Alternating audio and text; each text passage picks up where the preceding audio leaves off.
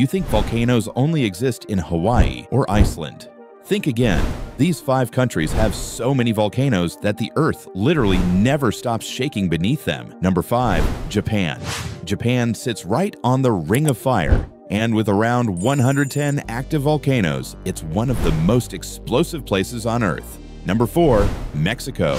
Home to over 140 volcanoes, including the mighty Popocatépetl. Try saying that without getting tongue-tied, one of the most active volcanoes in the world. Number 3. United States. From Alaska to Hawaii, the US has around 170 volcanoes. Fun fact, most of them aren't in the mainland, they're in Alaska. Number 2. Russia, the land of ice and fire.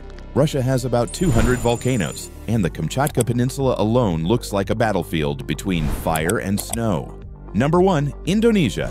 And here's your winner, Indonesia. This country has a mind-blowing over 275 volcanoes, with about 130 still active. It's like living on top of a ticking lava bomb. So, the next time you think Earth is calm, remember, it's just resting. Which volcano would you dare to visit? Comment below. And don't forget to follow for more explosive facts.